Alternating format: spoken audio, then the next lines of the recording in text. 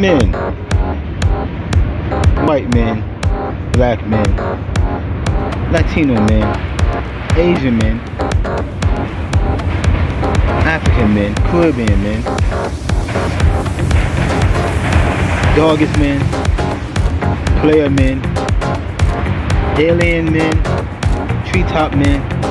Broke men. Rich men. Strong men. Weak men. You got a Johnson, and I don't mean Johnsonville sausages either. Between your legs, I am talking to you. Men are complaining that they have problems with women. They have issues with women. Women won't do this, and women won't do that. And women have problems. And men, women won't do this and that and the third, or whatever situation is.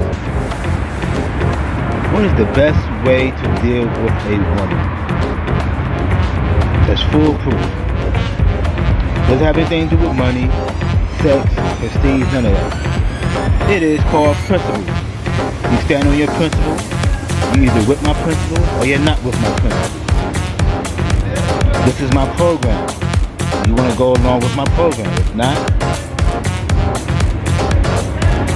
this is my lifestyle. You either want to go along with my lifestyle or not. If you want to be in my world, this is my world. This is what I do in my world. This is how I live. You can't do that. In other words, men, mean what you say and say what you mean. Stand on principles. She either with your principles or she's not. Money keeps them around for a certain period of time. Sex keeps them around for a certain period of time. But eventually they will leave because you don't have any principles, solid principles to stand on. Whatever your solid principles is, stand on that.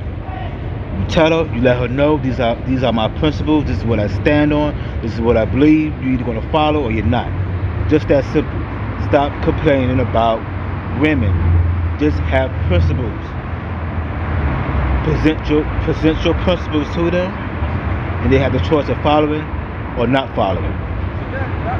That's it. What Peter won't do, Paul will, and it's just that simple. It's just that simple. By the way, toast